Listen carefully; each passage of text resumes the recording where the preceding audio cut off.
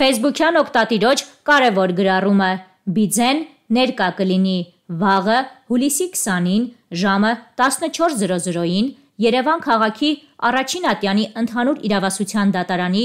Ավան նստավայրում, Քաղաք Երևան, Նոր Նորքի 4-րդ զանգված, Գյուլիկ-Եվխեյան փողոց 20, դատարան նիստերի թիվ 7 դահլիճ։ Տեղի կունենա Բիձու Վազգեն Մանուկյանի գործով դռնբաց դատական նիստը։ Հիշեցնենք, որ Վազգեն Մանուկյանին մեղադրանք է առաջադրվել Հայաստանի Հանրապետության քրեական օրենսգրքի 301 հոդվածով իշխանությունը զավթելուն, տարածքային ամբողջականությունը խախտելուն կամ Սահմանադրական կարգը բռնի տապալելուն ուղղված հրապարակային կոչերը։ Շտապ. 130 միլիոն դրամ հանել է եւ խաղացել է կազինոներում, ձերբակալվել է հայտնի պաշտպանության նախարար։ Ինչպես ավելի վաղ հայտնել էինք, Ազգային անվտանգության ծառայության կողմից ձերբակալվել է Հայաստան համահայկական հիմնադրամի տնօրենը։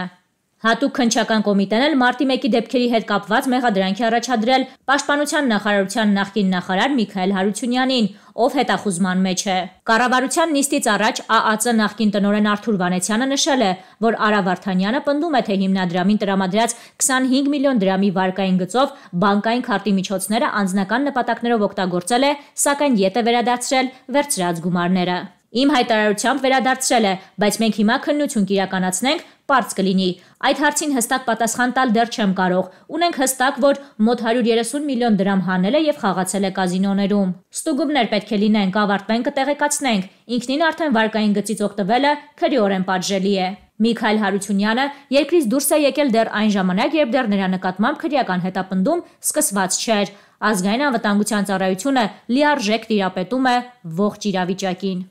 Բա հիմա ոնց չասեմ այ մալակասոս քաղաքապետ։ Այդքանի գլուխ ունես, որ Հայկ Թորոյանի կոշտ անդրադարձը Գորիսի քաղաքապետի հայտարարությանը։ Հայկ Թորոյանը գրել է. Նոր-նոր Սոսկեն Բերնից գցած Գորիսի առանց թրաշ քաղաքապետը քանի կար հետույքը պատրում էր, թե բա ոչ մեկ չի գալիս Սյունիք, չի փորձում տեսնի թե ինչ է տեղի ունենում, թե բա Սյունիքը ձերքներիցս գնաց ոչ մեկ չկա, իշխանությունն էլ լուրը։ Բա հիմա ոնց չասեմ, հիմա էլ վարչապետն է հելել անձամբ գալիս Սյունիք, ինչ մի կապիկ լամիշ ես լինում, թե բա ճանապարհը փակելու են, որ Նիկոլը չմտնի Սյունիք, մի հատ կենտրոնացի հասկանանք ինչ ա ուզածդ կամ ում պատվերն ես կատարում, թե հասկացաք, որ Նիկոլը հեսա կհասնի Սյունիք, ձեր բոլորի մանիպուլյացիաներն ու ապատեղեկատվությունները ջրի երես դուրս կգան, կամ այ մալակասոս, Թավիշից արդեն վզնեիդ շատ վեկալակ ու ծովը ծնկներից հտա դարել, թե քանի գլուխ ունես, որ վարչապետի ազատ տեղաշարժը փակես, էստեղ են ասել Սերժիներն եք տալու։ Հետգրություն Այսօրվա քաղաքապետիկների պահվածքի միակ մեղավորը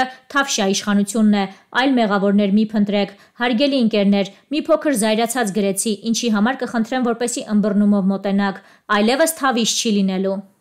Հայկ Թորոյանն իր Facebook-յան էջում գրում է. Մինչ պարոն Սուքիասյանի այս գրառումը 5-րդ Շարասյան լրատվականները Երևանից միմյանց հերթ չտալով, վայնասունները կապելով իրավական գնահատականները թողած, փորձում են քաղաքականացնել եւ ամեն գնով շահարկում Խաչատուր Սուքիասյան անձը։ Տվյալ վիժվածքները իրենց լրատվականներով փորձում են նաեւ տպավորություն ստեղծել, իբրև Հայաստանում ամենաթողությունը եւ կան մարդիկ, ովքեր իրենց օրենքից վեր են դասում։ Սակայն Խաչատուր Սուքիասյանի գրառումը եւս մեկ անգամ փաստեց այն, որ նա կրում է հեղափոխական արժեքներ եւ նրա համար օրենքի գերակայությունը անհերքելի փաստ է։ Հետգրություն Սիրելի հայրենակիցներ, աշխարհում չկա որևիցե մի երկիր, որտեղ մարդիկ ապահովագրված են կոնֆլիկտներից։ Բոլոր երկրներում էլ լինում են մարդկային տարաձայնություններ, ծեծ ու ջարդ եւ սպանություններ, բայց երկրները տարբերվում են իրենց արդարադատությամբ, օրենքի արկայությամբ։ Այժմ ես նույնպես համոզված եմ, որ Հայաստանում ամենաթողություն չկա։ Բայց ցավը նա է, որ երբ տվյալ լրատվականների հովանավորների թուլեքը օրը 24 ժամ գնդակահարում եւ բռնաբարում էին, այս նույն լրատվականները ինչ որ լուր էին, ոչ ոք չէր իմանում ում որտեղ ինչի համար գնդակահարեցին։ Իսկ ամենակարևորը, որ պետք է գիտակից մարդը հասկանա, դա նա է, որ յուրաքանչյուր չափահաս անznավորություն ինքն է պատասխանատու իր կատարածի եւ չկատարածի համար։ Պարոն Սուքյասյանը ժողովրդավար Հայաստանի կարևոր դեմքերից է եւ նման դեպքերը իր համար եւս անթույլատրելի են, իսկ կոնկրետ այս դեպքը դեռևս իրավապահների քննության շրջանակներում է։ Ոչ ոք թող չշտապի գնահատական կամ որակում տալու մասով։ Առողջ եղեք, ՀԴՄ-ներն էլ չմոռանաք։ Թա մեզի Թաթոյանի նման մարդ ընդհանրապես պետք չի։ Մեզի պետքա որ իմ քո ձեր ձեր նման սովորական են գյուղացու, քաղաքացու, շենք ապրողի այդ իրավունքները պաշտպանվի։ Ոչ թե շենքում ապրի, կվարտիրայում ապրի, 6-րդ հարգում ապրի անապահով ընտանիք, 4-րդ հարկում ապրի ապահով ընտանիք, թալանչի ընտանիք, 6-ում ապրում է լսեք, երկու անգամ եմ ասում, կարող է մարտը լինի, որ նոր միանա, որ ինան էլ լսելի լինի։ Առաջի 6-րդ հարգում ապրում է անապահով ընտանիք, ինչ ասում եմ, ռեալ եմ ասում։ 4-րդ հարգում ապրում է թալանչիների, հանրապետականի թալանչիների ընտանիք։ Դրա երեխեն հակնում է մաքուր ֆիրմայի սպարտիվ կա, 6-րդ հարգի երեխեն հակնում է իմ ընկերների տարած օգնությունը հակած շորեր տանում է մարդու իրավունքները խախտվում է այդտեղից որ այդ երեխեն բակում իրար հետ երկուսը խաղալուց միշտ ինքը տարբերություն է դնում ասում է գիտես իրան իրա շորերը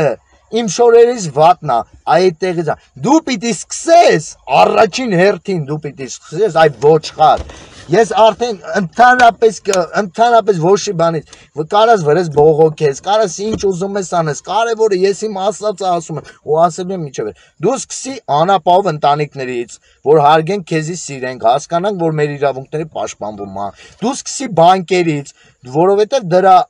իրավունքը դու ունես բանկերի են Սերժ Քոչարյան մնացած մնացած բանկերին գնա ասա մարդու իրավունքները ոտնահարում եք մարդու իրավունքները խախտում եք մարդու ներվային համակարգը խախտում եք մարդուն տանում եք զոհողության մարդուն տանում եք